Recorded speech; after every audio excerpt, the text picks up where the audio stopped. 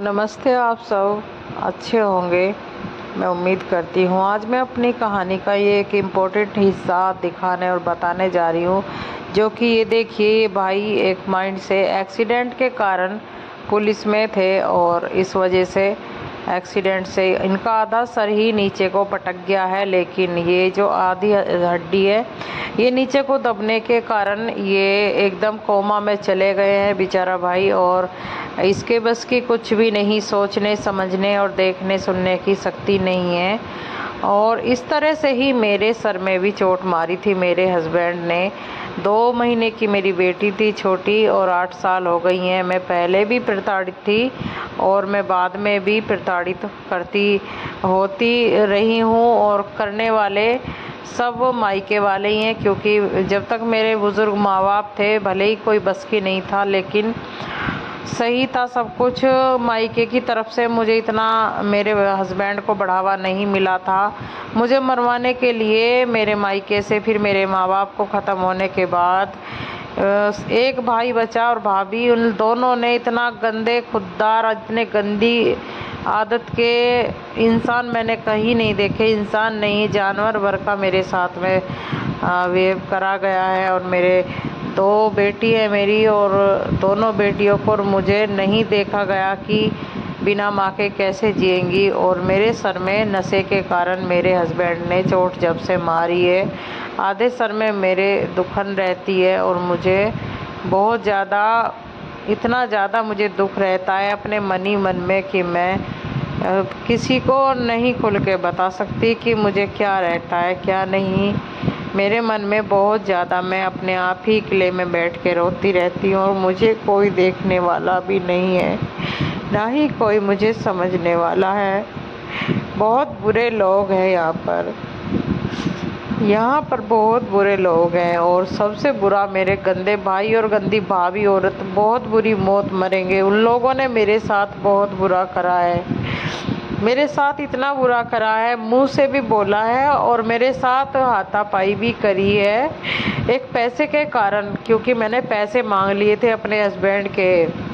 मेरा हस्बैंड मुझे प्रताड़ित करता था टॉर्चर करता था, ताने, खसोटी, मारपीट और यहाँ से खींच खचेड़ करके मुझे मेरी गंदी भाभी और भाई के पास मेरे मायके में छोड़ आता था मुझे और मुझे ये सब पसंद नहीं था। मैं पहले से ही प्रताड़ित थी इन बातों से कि ऊपर से गंदी भाभी ऐसे पल्ले पड़ गई और भाई भी साथ में कि मेरे हस्बैंड से बोला गया कि इसे मार दे और तेरी शादी दूसरी हम करवाएँगे और इसे मारने के बाद मेरी यहाँ तक कि दो बेटी थी दोस्तों। मेरी छोटी छोटी दो बेटी भी नहीं देखी गई और मेरे साथ में बहुत बुरा किया गया है और मेरे सर में भी ऐसे ही परेशानी रहती है जैसे कि ये भाई को आप देख सकते हैं। बेचारे इस भाई को तो एक्सीडेंट में आ, सर में गहरी चोट आने के कारण इतना बुरा इनका हाल रहता है। लेकिन मुझे तो जान पूछ के मारी गई है और मेरे कान के पास में, एक साइड में आठ साल से वरम रहता है सर में। और कोई देखने वाला, पूछने वाला, सोचने समझने वाला भी नहीं है।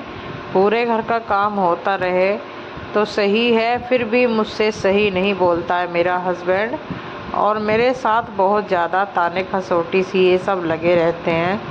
मेरा मन खुद ही नहीं करता है इस दुनिया में जीने के लिए।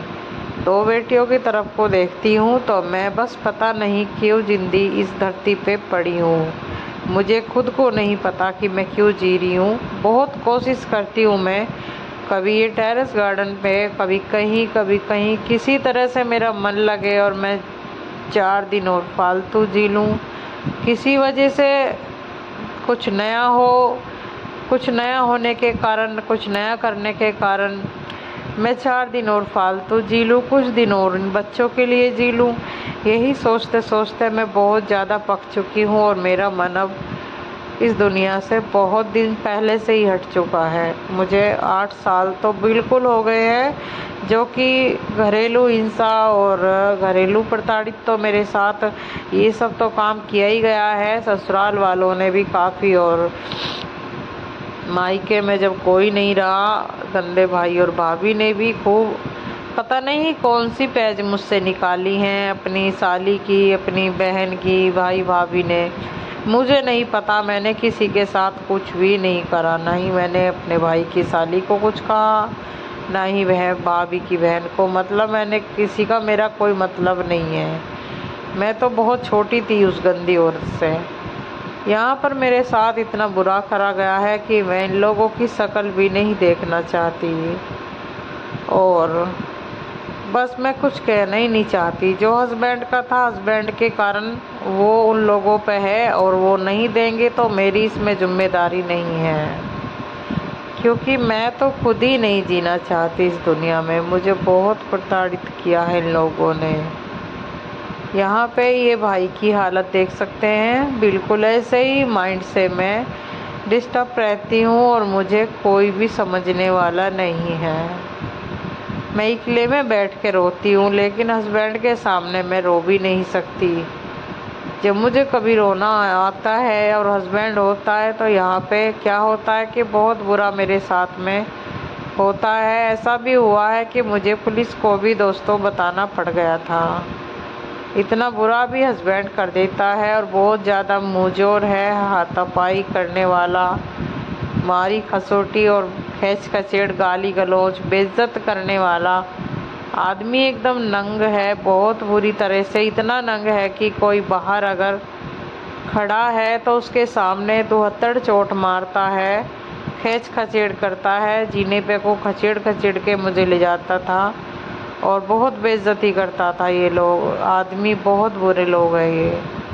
यहाँ पर दिन दहाड़े औरतों को मार देते हैं और वो जेल में चले जाते हैं। जेल में जाना पसंद है, लेकिन अपने घर को ये नहीं देखते हैं कि घर उजड़ जाएगा या फिर बच्चे बिना माँ के या बिना बाप के हो जाएँगे। तो फिर क्या होगा? ये इनके, इनका भविष्य क्या होगा?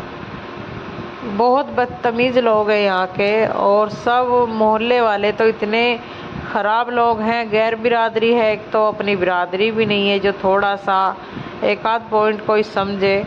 तो गैर बिरादरी इतनी बुरी है कोई सट्टा लगाने को कहता है हस्बैंड से मेरे से और कोई कहता है आ, नशा करने के लिए उकसाते हैं लोग और कोई कहता है दूसरी शादी हो जाएगी ये तो अपना तू तो अपना कर लेगा। और बहुत बुरे लोग हैं कि मेरे सब निगाहों में हैं दूसरी बिरादरी के लोग हैं जो कि कौम ही गैर है मोमडल लोग बहुत बदतमीज़ लोग हैं। उन लोगों ने ये तलक बोला है कि मारता नहीं है तू और मारने से आ, सुधर जाते हैं सब। तो ये भूल गए कि मारने से कितना बुरा हाल हो चुका है और और भी मारेगा तो फिर क्या होगा? मतलब ये है कि दूसरे के घर को उजाड़ने के लिए हर वक्त तैयार रहते हैं यहाँ के लोग। बहुत बुरे गंदे लोग हैं और इन लोगों से वास्ता भी नहीं है, तब भी उकसाने की कोशिश करते रहते हैं। बहुत बुरे लोग हैं। मैं ऐसी दुनिया से दूर जाना चाहती हूँ। मैं ऐसी दुनिया में रहना ही नहीं चाहती। जो गंदे भाई का और गंदी भाभी का बहुत बुरा हाल होगा, जो मेरे साथ में उन लोगों ने करा है। मैं माइंड से डिस्टर्ब रहती हूँ। मैं कभी कभी इतनी ज़्यादा बेकार हो जाती हूँ कि मुझे खुद को नहीं पता चलता कि मैं क्या कर रही हूँ और मैं क्या बोल रही हूँ। क्योंकि मेरे इस आधे हिस्से के सर के हिस्से में, आधे हिस्से में दर्द इतना रहता है। हर वक्त ये दुखता रहता है और सर की नस फटने के लिए एकदम तैयार हो जाती है। मुझे खुद नहीं पता दोस्तों, मुझे ज़रूर आप कमेंट करना और मुझे सलाह देना कि मैं कैसे जीऊँ या फिर कैसे मैं क्या करूँ। इन बच्चों के खातिर मुझे सिर्फ़ अपनी दो बेटी दिखती है, मुझे कोई भी नहीं दिखता। अब मेरी क्लियर बात है, मुझे कोई भी नहीं दिखता। मैं किसी की शक्ल नहीं देखना चाहती। ना ही ससुराल वालों की, ना ही मायके वालों की। और तो और इतनी गहरी चोट मारकर मुझे दिमाग चला दिया था मेरे हस्बैंड ने, और मुझे सात महीने तक देखा भी नहीं था। सातवें महीने में मुझे सीटी स्कैन कराने ले गया तो चौदह सौ रुपये में हुआ था। तो क्या किया कि उसके ऊपर भी मुझे बहुत ताने खसोटी मेरे हस्बैंड ने करी कि तो चौदह सौ रुपये उठ गए हैं और ये तेरे बाप के थे। पता नहीं क्या क्या बोला था और बहुत ज़्यादा अब तक भी मुझे प्रताड़ित किया गया था उस बात के बारे में। और उसमें सोजन आई थी और मैं ठंडा कपड़ा अपना लेकर इस तरह से मैं जीती थी कि मैं जी नहीं रही थी, मैं मर मर जाती तो भी बढ़िया रहता, लेकिन मुझे बच्चों का बहुत फ़िक्र इन बेटियों का, मेरियों का कोई भी नहीं था, क्योंकि मेरी सास ने नहीं, किसी ने नहीं जब से पैदा हुई दोनों बेटियों को किसी ने हाथ नहीं लगाया था, क्योंकि दूसरी मेरी जिठानी के बच्चों में ही व्यस्त रहती थी मेरी सास, ससुर। तो यहाँ पर मेरे पास में कोई मतलब नहीं है, मेरे बच्चों का कौन देखता? और कौन देखेगा? कभी मेरे हस्बैंड ने ये नहीं सोचा और मैं ना ही मरो। मैं छोड़ी ना जिंदो, मैं छोड़ी फिर भी मैं बच्चों के बारे में सोचती आ रही हूँ। तभी तो मैं यहाँ पे अब तक भी ज़िंदा हूँ और अब तक भी मैं देख रही हूँ और आपसे बता रही हूँ। और बहुत बुरी हालत यहाँ पे रहती है। आज तो मुझसे बिल्कुल बर्दाश्त नहीं हो रहा है। हर दस दिन, पंद्रह दिन में मुझे ऐसी परेशानी होती रहती है। हर रोज़ दुखन रहती है, सर में आधे में और कोई देखने, समझने वाला है ही नहीं। अगर मैंने बच्चों के सामने बता दिया तो मेरी बेटी बेचारी एक सर के दर्द की गोली पकड़ा देती है मुझे, क्योंकि बच्चे क्या जाने। और बाकी मुझे कुछ भी नहीं समझ में आता कि मैं क्या करूँ। यहाँ पर आप मुझे ज़रूर सलाह दें और मेरी इस वीडियो को आप ज़रूर शेयर करें और मुझे कमेंट ज़रूर करें।